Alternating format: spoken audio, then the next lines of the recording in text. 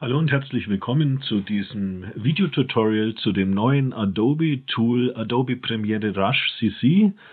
Ein Video-Editing-Tool, das in erster Linie dem Erstellen von Online-Videos dient, das es sowohl als Desktop-Variante als auch als mobile Variante gibt. In dieser Videoreihe stelle ich euch zunächst einmal die Desktop-Variante von Premiere Rush vor, ist für alle, die die Creative Cloud haben, in der Creative Cloud enthalten. Für alle anderen gibt es ein entsprechendes Abo-Modell. In diesem ersten Videotutorial geht es jetzt mal um die Grundlagen von Adobe Rush. Und ihr seht, ich habe hier schon mal drei Projekte erstellt, aber wir beginnen jetzt mit dem Erstellen eines neuen Projekts. Ich kann das hier auswählen. Ich klicke das an und habe jetzt dann hier verschiedene Möglichkeiten, meine Videos zu suchen. Es gibt hier so Sample-Videos, die vorgegeben sind, ähm, anhand derer man auch eine kleine Tour durch Rush machen kann.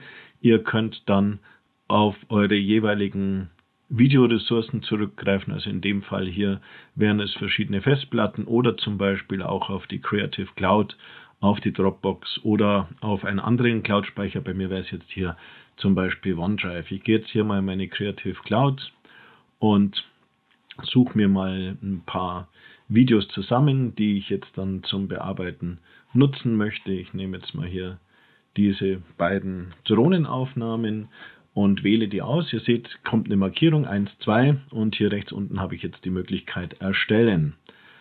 Es werden jetzt die Medien vorbereitet, das heißt, sie werden dann auch in eine Cloud hochgeladen und das dauert natürlich je nach Internetgeschwindigkeit ein bisschen, aber das macht nichts. Ähm, ihr seht hier oben rechts, während Adobe Rush noch hochlädt, können wir aber schon mit unserem Material arbeiten. Und ich stelle jetzt mal hier nur die Grundlagen des Videoschnitts in Rush vor. In einem weiteren Video werden wir uns dann mit Titel, Übergängen, Farbkorrektur und ähnlichem beschäftigen. Ihr seht hier, wie man es eigentlich auch aus Premiere kennt und Rush ist ja eben auch ähm, Premiere-Ableger. Hier einerseits das Fenster mit der Filmvorschau und hier unten haben wir die Leiste, den, ähm, die Timeline mit dem jeweiligen Videomaterial.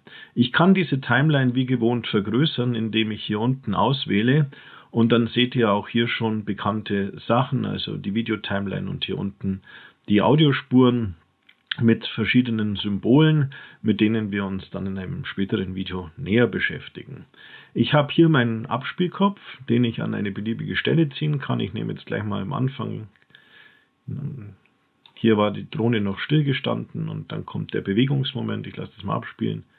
Genau ab hier soll es funktionieren. Ich wähle jetzt einfach hier die Schere aus und ähm, habe dann hier auch schon meinen Cut gesetzt und kann jetzt ganz einfach diesen Clip-Teil entfernen, indem ich auf Entfernen klicke und Adobe Rush schließt dann auch gleich die Lücke, die entstanden ist.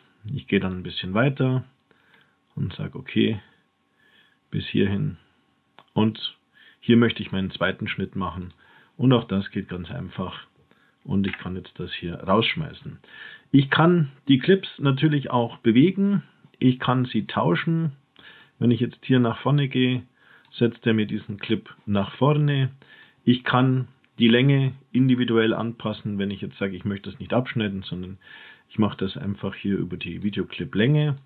Dann kann ich das hier mit diesen Anfassern ganz gut auswählen. Und ihr seht, das wird immer sofort dann auch magnetisch sozusagen die Lücke geschlossen. Ich kann hier unten dann die entsprechenden Ausblendungen auch wieder machen, kann hier die Audio-Timeline wegblenden oder aber ich kann wieder die erweiterte Ansicht machen.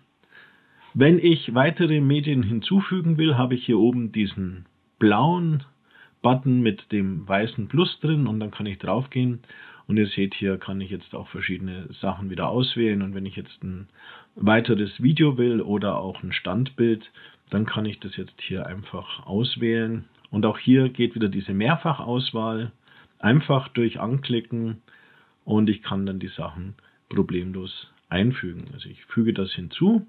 Und ich habe jetzt hier kein gesondertes Projektfenster, sondern Das Videomaterial wird jetzt direkt in meine Timeline reingelegt und ich kann es mir wieder an die passende Stelle ziehen.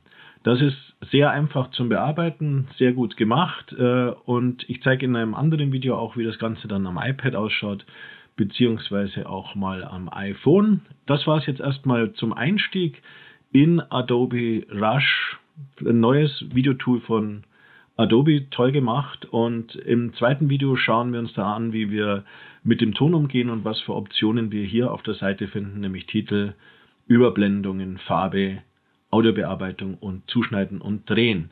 Und im letzten Video dieser Reihe werden wir dann uns mit dem Thema Freigeben beschäftigen, denn Adobe Rush CC ist ja auch gedacht, um Videos in den sozialen Medien zu publizieren. Das war's in meinem ersten Videoteil. Ich hoffe, es hat euch gefallen. Wenn ja, dann einen Daumen hoch und nehmt mein Abo und bleibt mir gewogen.